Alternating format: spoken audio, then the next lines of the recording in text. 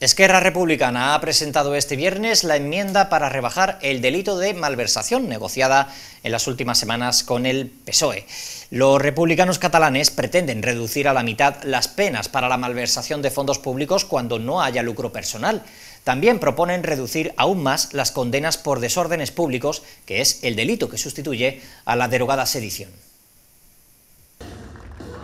Esquerra ha presentado este viernes una serie de enmiendas a la propuesta de PSOE y Unidas Podemos para derogar la sedición entre las que propone crear un nuevo tipo dentro del delito de malversación para castigar con menos cárcel, con una pena de entre seis meses y tres años de prisión a quienes malversen dinero público pero sin ánimo de lucro personal. El Partido Republicano ha argumentado que con esta reforma quiere evitar que se use el delito de malversación con finalidad política y arbitraria contra el independentismo.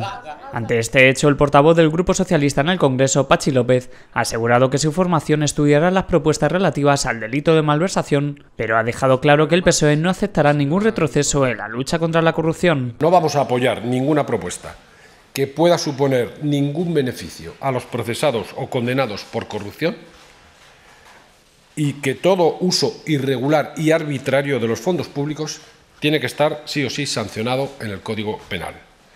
En la misma línea de estudio se encuentra Unidas Podemos, según su portavoz Pablo Echenique. Hemos recibido la, enmienda de Esquerra Republicana muy, muy recientemente y lo que hemos hecho es poner a, los equipos jurídicos a investigar eh, si la nueva formulación que propone Esquerra Republicana eh, provocaría algún beneficio para algún imputado o algún condenado por corrupción. Desde el Partido Popular, Cuca Gamarra asegura que estas negociaciones tienen el objetivo de mantener a Pedro Sánchez en la Moncloa. Cuando hablamos de la derogación del delito de sedición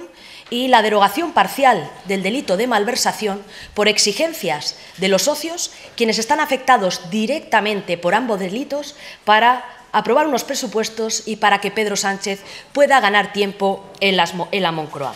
y afirma que lo que está detrás de este asunto es la igualdad de los españoles ante la ley y el sometimiento de los poderes públicos ante la misma.